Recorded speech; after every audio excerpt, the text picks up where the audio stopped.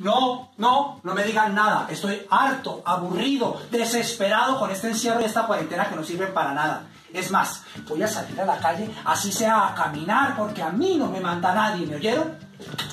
No, no, no, no, ¿qué es? ¿Qué te pasa?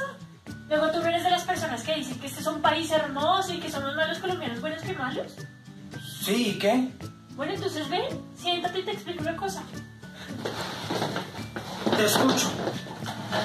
Mira, Andrés, esta crisis sanitaria por lo del coronavirus es tu oportunidad de oro para que lo demuestres.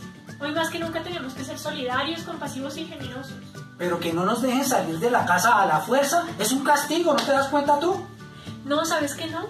A mí me parece que es un acto de humanidad y de amor que tenemos que asumir con responsabilidad, pero también con alegría porque es que es la única manera que tenemos de proteger a nuestros seres queridos, a nuestros abuelos, hijos, hermanos, pero sobre todo a nosotros mismos.